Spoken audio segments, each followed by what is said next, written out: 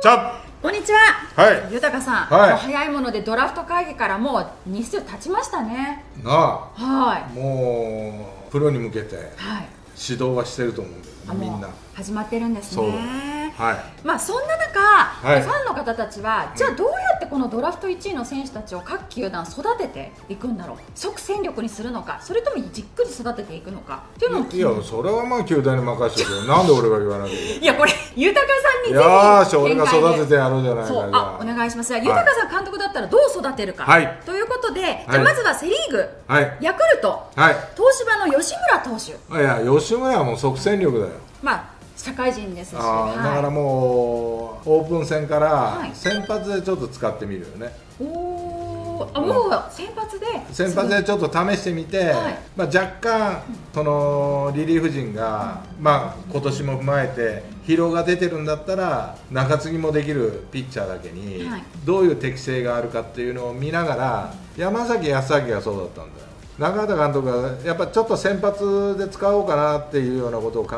えてはい。使ったんだけど、やっぱり抑え向きなんだよね性格的にも。あそうなんね、うんだからまあそういう性格とかがあるから,、はい。だから吉村がどっちに向くかっていうのは分からないけどもまずは先発で使ってみるよね、うん。でね何回か投げさせてみてでリリーフでも使ってみて適性を見ながら、どこにポジションを置くかっていう、まあ、間違いなく一軍に入ってこれるピッチャーだから。すぐ。うん、だから即戦力として考えて、はい。まあそういうふうな育て方をするよね。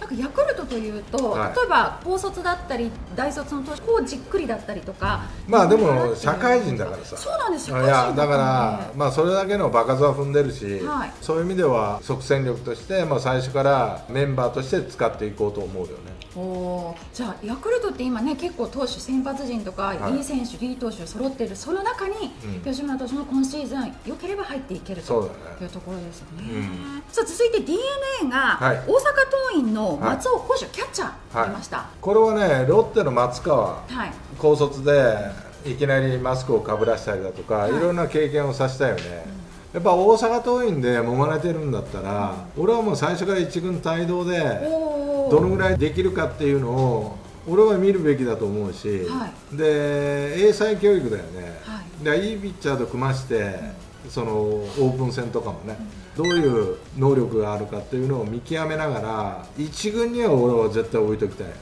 ああそうなんですね。いや置いときたいよこの素材はやっぱね人ってね環境で育つんだよ。はい。だからいい環境を与えてあげるっていうことは俺は大事なことだし、はい。だから2軍に行くとやっぱレベルが下がるからねかなり。だからそこでだったら俺は松尾だったら多分やると思うんだよ。でやるのはいいんだけどもこの子の持ってる能力からするとやっぱりこういい環境を与えてあげたいなって思うよね、その高卒のキャッチャールーキーで一軍っていうのは今後主流になっていきそうなんですかね？まあそれは能力だな。あ高城。ーはい。まあ、今回クビになっちゃったけど、うん。あの高城がやっぱりこう割と能力的には高かったんだよね、だからバッティングは追いついてこなかったんだけども、まあ、一軍帯同とかね、はい。ずっと察してとかいうか、まあ、英才教育をしたんだけどもね、まあ、だけどああいうふうな形でも俺はいいと思うし、はい。だから高校から出たからってすぐできないっていうことはないしね、はい。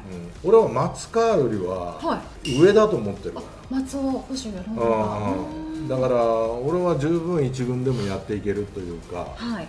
慣れればね、うん、だから慣らしていきながらだと思う、あー。あと d n a ってそのやっぱりその正捕手っていうのがなかなかまあ固まらないよね、はい。だからまあ早く固めたいってこう焦る必要はないけども、やっぱり徐々にというかね、はい。でまあ種重でもやっぱり1年目から使われてたりだとか、で d n a のキャッチャーの1位って種重以来だから松尾って。はい。だからそういう意味では、うん、匹敵するぐらいの谷重とね、はい。うん、能力を持ってると思うよあ楽しみですね。楽しみだよ。はい。そして阪神です。あの浅野選手を取れなくて中央大学の森下外野手をは取通りました。これは俺は、もうキンキラキンの星様引いたなっていうような。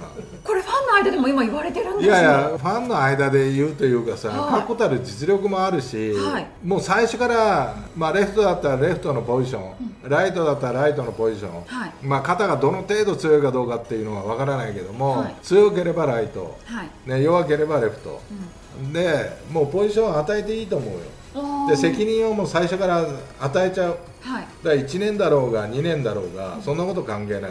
お前の実力を思いっきり出せというね。はい。それと、おまあ、岡田監督になって岡田監督って使い出したらこうずーっと我慢できる監督だから、い、いとこ入ったと思うしもう最初からレギュラーでいいよ。もう外野手というとやっぱセンターの近本選手しかレギュラーですもん。まだ決まってない、まあ大体な、ね。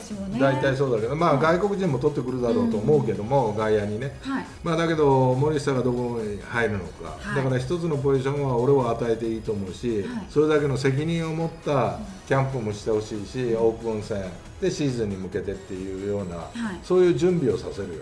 ああなるほど、うん、だからまあそれだけの本当に能力持ってるしね、はい。でまあ速いピッチャー、速いピッチャーってプロ野球の世界では今、主流になってるけど、まあ、アマチュアでもその速いボールに対しての対応っていうのはちゃんとしてたし、ん。で全日本の4番も打ってたしね、右バッターだし、だから使った方がいいと思う。は最初二軍隊とですか？それとも一軍隊と当たり前じゃないか、一レギュラーやるって言ったら、なんで2軍に行かなきゃいけないの二軍から途中からなんか一軍に呼ばれバたりするのか。なバカ、もう一軍だよ。即ですか。そうだよ大山、佐佐藤森下でセット組ましてー。フリーバッティングさせりゃいいんだよ。おおそうなんですね。いやそうだよ。すごいいいやいい選手だからそしたら引きもましたよねちろんどこの大学か知ってるかおはい前。中大です中方はプロに入って伸びるんだよ。それなんでですか？規制されてないから。自由にやらせてくれてるから。あえだえそれはプロに入ってから自由な違う違う。大学時代に？うんえもう俺らの時の教えっていうのは、俺らは体小さいけど、飛ばさないと使ってくれないんだから。ですね。だからバッティングの基本というのは飛ばすことだって言うんだから。はい。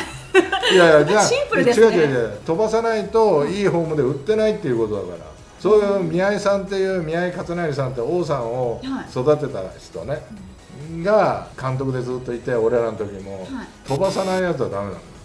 なヒットじゃ喜ばないんだから監督なんて。また長打長打飛ばいせやだからホームラン打ったらって喜ぶ監督だったから。あそうそのリズムがずっと来てるんですね。多分あると思うへえあじゃあ楽しみですね。いや楽しみだよ。選だからね牧だってあのぐらいやるでしょ。手そうだ中大だ。だから牧ぐらいの可能性は持ってる選手だからおじゃあ楽しみですね。新人王だから楽しみだっつってんじゃないの 新人王何がお前2軍からスタートだよお前。2軍なんて関係ないよもう。もう早速ですね。そうだよ。おポストじゃあ佐藤輝選手だったりとか牧選手だったりとかそういうところに行けそうなまあそうだな。選手ですね。まあ肩並べるよね多分。おお楽しみですね。で巨人が浅野選手を見事引き当てました。そうだな。はい。まあ見てみたいな。ただあのキャンプで1軍帯同すると思うよ。はい。ねただ金属バットから木になるでしょ、はい。でもう木のバットで練習はしてると思うんだけどもだからそこら辺の適性がどのぐらいあるかだよね。それって対応ってどういうものなんいですか？や対応はセンスがあったらすぐできるよ。はい。うん、で打ち方見てるとあれは木でも打てるなっていうような打ち方してるからそんなに時間はかからないと思うけども、その感触でね。でおそらくデーブがつきっきりでやると思うんだけども、まあ、デーブの教えをあれするんだったらいい感覚になってくるんじゃないかなっていうような感じがするけどね。うん。ただその本人が、い、や僕は中距離ヒッターだとか、どうのこうのって言ってるでしょ。そんなね長距離も中距離もね自分で決めつけない方がいいよ。はい。うん、彼はやっぱアベレージも残せるし、ね、足も速いしたまにホームランも打つだろうし。だからそんなにね自分で決めないことで小さくならないこと、はい。まずは大きいとこからスタートしてほしいっていうような選手だよ。うん。あんまり考えをこう中距離ヒッターだとか高校の時は長距離ヒッターでしょ、はでいや僕は中距離ヒッターですからと。こう小さくならないようにね、やっぱ大きく大きくしながら自分の到達点を見つけてほしいという選手、だからどこまでそれができているのかどうかっていうのは高校生だから、はい。ちょっとまだわからないけどもだから最初は見ながらそういう教育をしていってほしいなと思う豊さんだったら巨人に歴代いたどんなタイプの選手にしたいなって思います？浅野選手って。長野かな。長野は20本ぐらいのホームランを打って、はい。まあ首位打者も取ったぐらいで、はい。ああいう形の選手だよね。バランスいいですね、ただ長野よりも若干こうスケール感があるというかうん。それはなぜかというとその足が速いとかね。はい。だからトリプルスリーを狙えるぐらいの選手。うーんだからまあ例えば長野は20本ちょっとぐらい、はい。で、まあ、3割打つ。はい。まあ浅野はまあ30発、ん。30盗塁30盗塁はできると思うんだよ。はい。まあ3割も打てると思うんだよね。だからここら辺の長野よりちょっと上ぐらいの数字を目指してほしいなって思う。おーまあそのぐらい楽の選手にはなれると思う。し楽しみですさあいや楽しみだねだからまあ歴代ジャイアンツって言ったけども、まあ、山田哲人。はいヤクルトの。そう山田哲人ぐらいの感覚でいてほしいよ。ねトリプルスリーも。そうそうそうそうう。ん。だからそのために土台はしっかりできてるのか、はい。スイングはそういうスイングができてるのか、それはやっぱり見極めなきゃいけないし、盗塁技術はどこまであるんだって。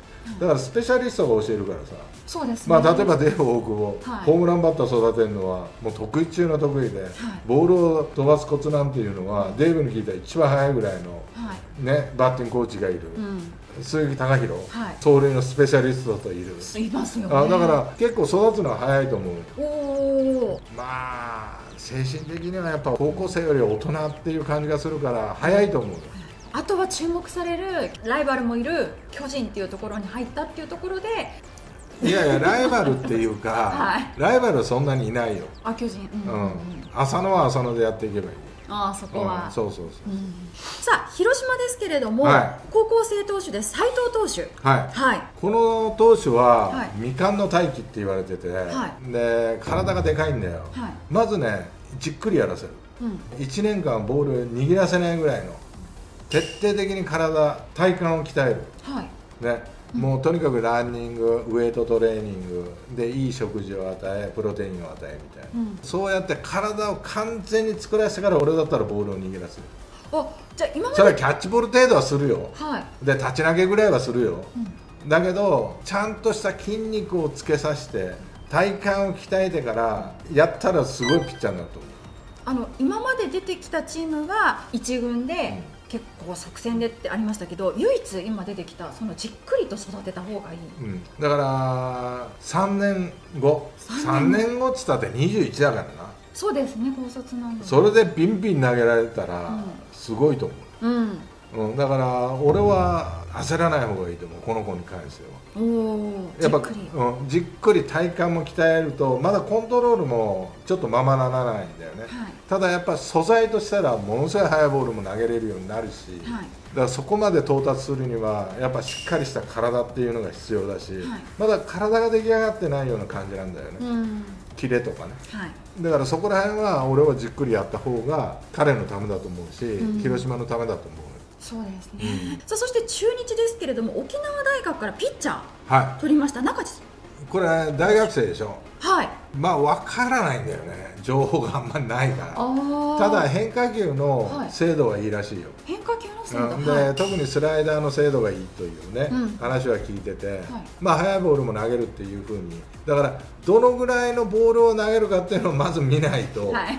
まあ俺はちょっとわからない。今の状況では。でも一番いいのはそのコントロールを持ってるっていうことがさうん近道だからプロとしては、はい。だからそこら辺にキレがついてくると使えると思うよね、そうですね、うん、だからそこら辺の見極めだよね、はい。まずは、うん。